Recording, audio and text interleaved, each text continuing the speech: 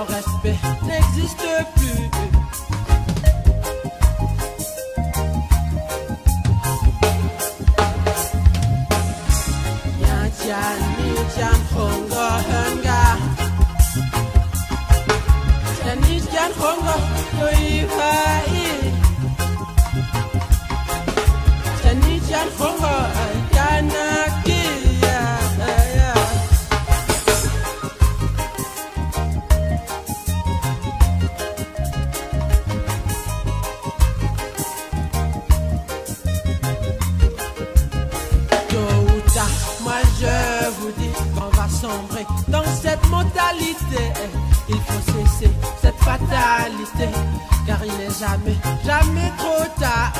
Lève-toi, homme de Kanaki, et restaure cette richesse que nos vieux nous ont léguée depuis la nuit, la nuit des temps.